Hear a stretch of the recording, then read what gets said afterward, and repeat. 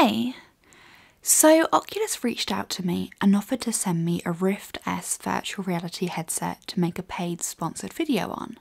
Now, I only want to endorse products that I'd actually buy myself with my own money, which is why making this video was a complete no brainer for me because I actually already purchased a Rift S just a few months ago now. Before I jump into this video though, let me just add that there's a link in the description down below if you'd like to learn more about the Oculus Rift S. So the Rift S is beautifully packaged, making a great first impression.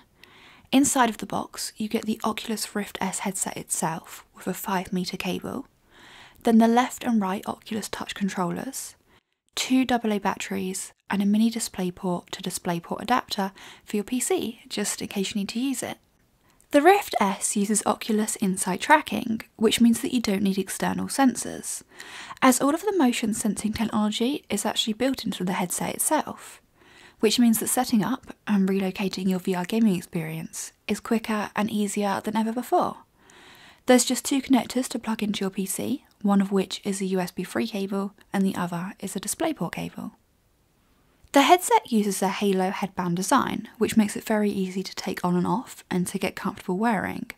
You can also adjust the distance that the lenses sit away from your eyes, using the button on the bottom of the headset. The Rift S has improved optics and a higher resolution screen compared to the original Rift. Now, this is my first premium VR headset, so I can't make any comparisons, but I can say that I was expecting the screen door effect to be significantly more noticeable than it actually is so that's good. So the Oculus Touch controllers have been redesigned for inside out tracking. They're lightweight, only taking one AA battery each under their magnetic covers, and they feature safety straps, which you should always use when gaming in VR. The controllers are very intuitive and quickly become an extension of your hand once you're used to them.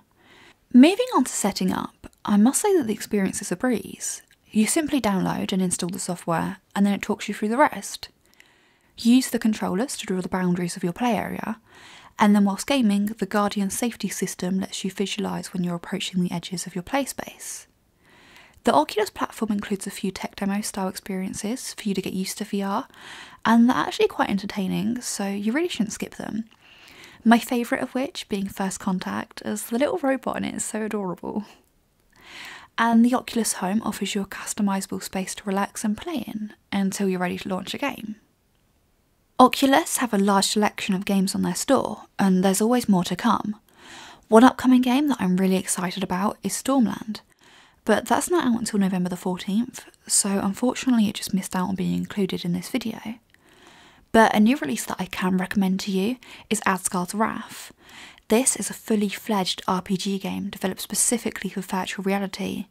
It's full of Norse mythology, and what I've played so far has been really amazing. Like, I think it could easily be one of my favourite games ever.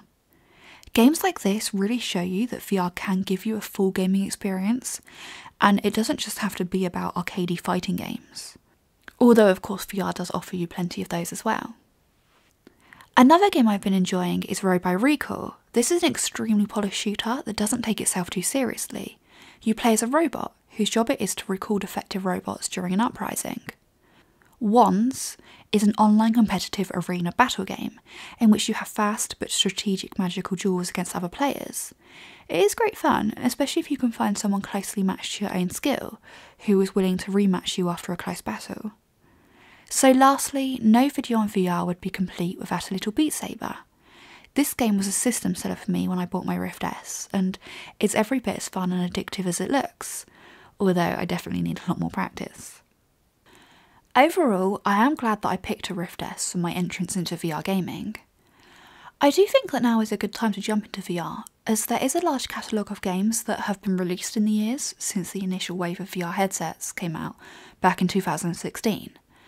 And there's many more bigger and even more ambitious games on the way yet.